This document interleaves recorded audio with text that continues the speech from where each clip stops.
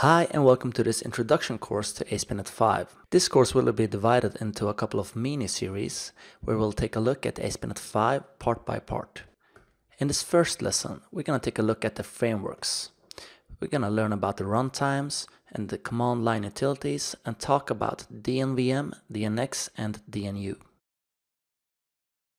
If you're using Visual Studio as, as your IDE, you'll probably don't need to know about these command line utilities if everything works as expected. But I recommend that you take a look at these commands anyway. So what does DNVM stand for? DNVM stands for .NET Version Manager. And if we run the command, we, we get the help and we get a couple of commands that we can run. To upgrade the, the version of the .NET uh, framework, you just run DNVM upgrade and and it will install the latest version of the runtime and reassign the specific alias to the new runtime. Let's take a look at which runtimes I have installed on my computer. We do so by passing in list as an argument and we can see that we have the latest beta at the moment of this recording installed and we have the CLR version and the core CLR version. The core CLR is a portable version of the .NET runtime. So we can we can change which uh, runtime we are targeting by simply uh, running the dnvm use command. For instance, if we'd like to target the core CLR version of the beta 8, we can do so by saying dnvm use 1.0.0 slash beta slash 8 and we can tell it that the runtime will be core CLR and we want the architecture to be x64 right? And we can immediately see that I mistyped the beta. So by doing this, we set uh, the process path to use the following uh, path. If we use the DNX executor here and check the version, we can see that we, we are using the version that I just set, the core CLR version, x64. If we run dnvm list again,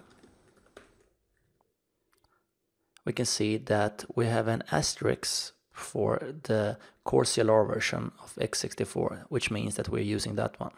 But if we open a new command prompt, we'll be at the default one.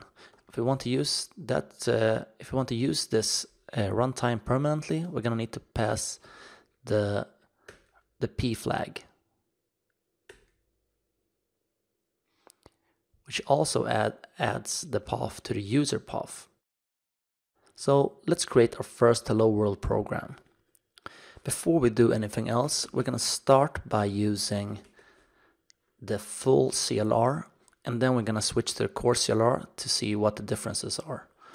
So we're going to run the dnvm use command and pass in the version, set the runtime to CLR and the architecture, let's say x86 you, if we just do a sanity check now, check the version, we can see that we're using the correct version. So let's sw switch to Visual Studio Code and create our first program. So the first file that we're gonna need is a project.json file. We don't need to fill anything in for now. Um, let's create our first program.cs. And if we switch back to the command prompt now, we don't actually need to compile anything. This will use Roslyn and do an in-memory compiling without, without actually needing to write any files to disk. So let's type dnx run. And we can see that we got an error because we need to specify which runtime frameworks that we want to be able to compile for. So let's switch back to project.json so we can get IntelliSense here from Visual Studio Code. You can see we need we can specify frameworks. Then we're gonna use the .NET 451 framework. And we're not gonna need to specify any dependencies here. And if we switch back to the command prompt now, let's clear this and do the same thing. We get a new error that tells us that we need to run dnu restore to uh, restore our NuGet packages. So the DNU stands for .NET Utility and we just run the restore command. And if we run dnx run now, we get hello world. So let's find out if this works with the core CLR. We're going to use the .NET version manager and we're going to switch to the core CLR version. So let's run the same command again and see what happens. Yes, you guessed it. We've already seen this error, error version once, so now it tells us that the current uh, target framework is DNX Core 5.0 and, uh, and the framework is not compatible with the project JSON file. So let's switch back to a project JSON file and make it compatible. So we're gonna need to find a new framework here that we can support. And We're gonna tell it that we want the core version. And let's see what happens when we run the application now. So once again, we're gonna need to run dnu restore.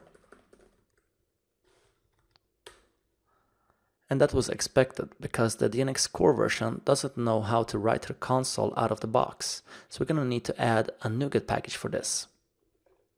We do that by specifying our dependencies here and we're gonna get system.console and we actually get auto completion here and we can tell it to take whichever beta is available for this. And now we could go ahead and restore from Visual Studio Code, or we can switch back to the console and do a restore again. And we downloaded our new NuGet package. And now hopefully we'll be able to run targeting the core CLR instead. So let's revisit what we learned. We learned about the runtimes that uh, they're actually just a matter of folders sitting on your disk. And it's easy to deploy them side by side and, and switch between which runtime you're targeting with the DNVM command line utility, which stands for .NET Version Manager. And we can use DNX, that stands for .NET Executor, to execute our code. And DNU stands for .NET utility and we can use it to restore our NuGet packages and build. So for the next lesson, we're going to scaffold an ASP.NET 5 project using Yeoman and the ASP.NET 5 generators. And we're going to use VS Code to explore the code that it's generated for us.